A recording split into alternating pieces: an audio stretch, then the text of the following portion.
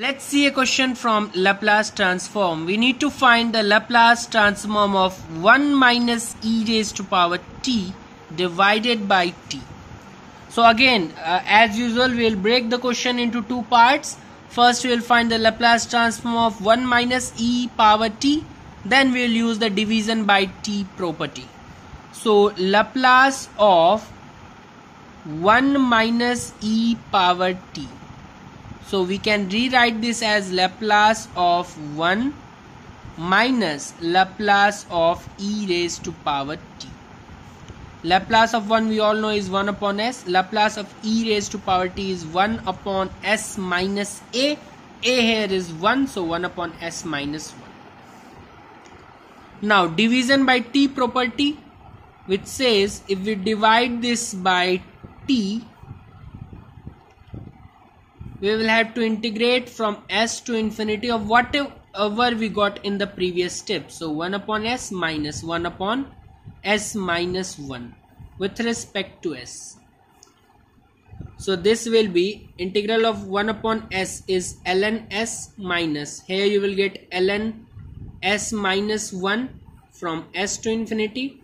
In the bracket you can still use the log property which says log a minus log b provided the base is same is log a by b to the same base.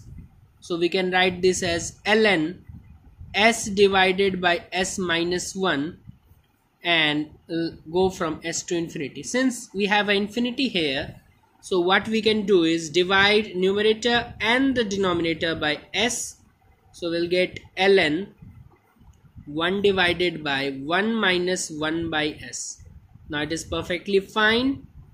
So we can put infinity here. So 1 upon infinity is 0 1 by 1 is 1 and ln 1 is what we will be getting.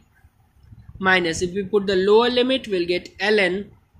1 upon 1 minus 1 upon s only. Log 1 is 0 so better not write that.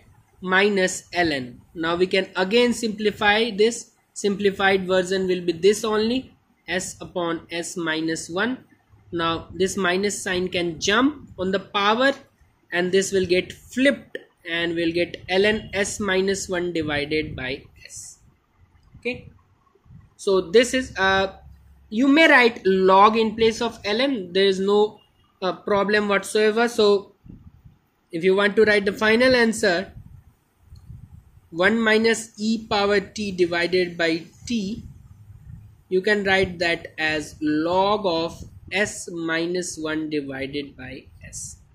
So again as usual we broke the question into two parts. First define the laplace transform of 1 minus e power t and then the division by t property made our life a lot easier